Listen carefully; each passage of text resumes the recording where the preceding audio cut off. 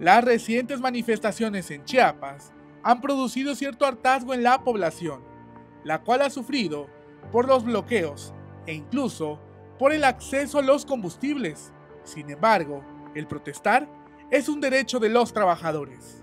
El derecho a la protesta es un derecho que está en nuestra Constitución y que tiene que ser honrado y respetado. También tenemos que ver que haya una respuesta a esa protesta, ¿no? que haya una resolución y una voluntad política de las partes para que, para que pues haya, la protesta no puede ser eterna, no puede ser larga, eh, ¿no? es desgastante para quien, para quien, quien la ejerce. Las elecciones en este 2024 fueron un detonante para las manifestaciones sociales.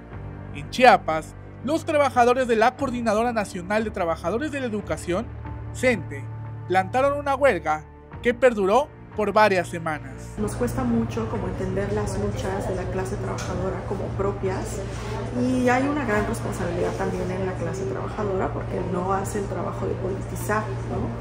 Eh, estamos viendo mucha polarización también este, a partir de los resultados de las elecciones, donde pues, hay una separación, un entendimiento este, de quién sí es clase trabajadora y quién, es, y quién no es, y, como una, una estigmatización importante hacia la clase trabajadora.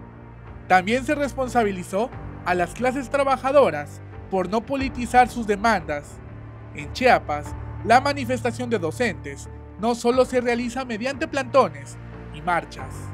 Ahí lo que vemos es un sistema desgastado, este, en, el que, en el que se recarga como al cuerpo de maestros, con protestas que son eh, largas, peligrosas, este, confrontativas, este, que tienen un impacto muy grande en la vida de las personas este, en términos de movernos en vehículos, en términos de tener acceso a, este, a la gasolina, como fue la crisis hace una semana. La experta en sociedad civil organizada comentó que también el recorte en el presupuesto de este sexenio de la 4T, caracterizado por la austeridad, afectó y engravó algunas problemáticas atendidas por las mismas. El mismo Estado daba a la sociedad civil organizada que permitía además atender una serie de problemáticas que el Estado no está atendiendo, que lo hacía a través de, sociedad civil y que al retirar estos financiamientos y estos apoyos, pues está quedando un hueco ahí en la atención.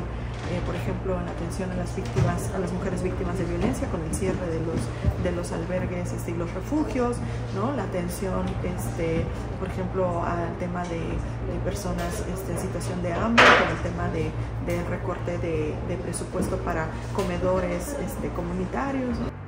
Con imágenes de Christopher Canter, para Alerta Chiapas, Eric Chandomi.